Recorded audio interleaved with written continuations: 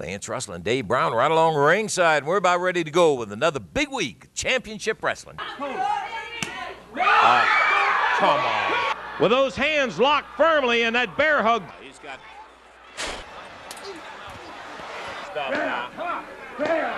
I don't know if it's a neck brace or a flea collar. I mean, you know, it's... Now, Jerry Lawler, you hear this.